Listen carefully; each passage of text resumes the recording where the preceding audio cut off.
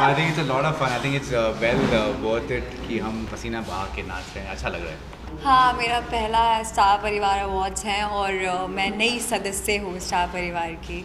तो I feeling very excited हमारा act बहुत अच्छा है। It's it's an act about festivals of India चार फेस्टिवल्स हम दिखाने वाले हैं। uh, हम लोग जो हमारे कपल का एक्ट कर रहे हैं वो है दिवाली पे।